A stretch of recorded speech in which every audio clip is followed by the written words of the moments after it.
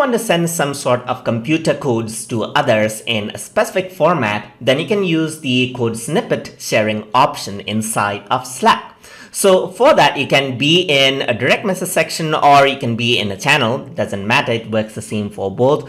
So I'm just going to go around into the public channel right here and then I'm going to go around into shortcut. So let me just click on shortcut and here you have an option uh, to create a code or a text snippet. So I'm just going to go around type in snippet then it sets us out for the same thing as well. So you can just directly click or if you don't find it for some reason you can just search it out. So now once that is there I'm just going to create code or the text snippet right here and I can give a title to the snippet. Let's say for example test code for example and I can uh, have an option to auto detect the type or I can choose the type of the language that I want to send. Let's say for example you want to uh, send something like HTML you can simply select this out and so forth but I'm not going to uh, select it out. Let's see how it detects our language. I'm just going to go around over here and type in a paragraph symbol. So let's this is uh, an HTML code. This is a paragraph just like this.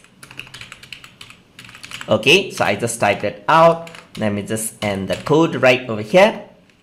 So if you're familiar with HTML, then you know what this is. But if you don't know, then it doesn't matter. So just for long, this is just an example. So I'm just going to italicize uh, this around as well. So by typing in the code right over here. So there you can see that this is the code that is being sent right over here. So this is the code uh, for para graph just like this. So I'm just going to type this in and then I'm going to send this out. So let's see how this is presented out. So I can just create a snippet right here. And what happens is that it uploads out the text document and then it is being sent as a code. So this does take a bit, um, take a bit to upload and it has been uploaded as you can see. So now this text in is in this format right over here. So you can go around here and then you can copy this out. So this has been uploaded as a file. So you can go around onto the files and you can see the test code right here. You have an option to edit this around and this has been sent as a plain text. So I can go around and change this into HTML as well.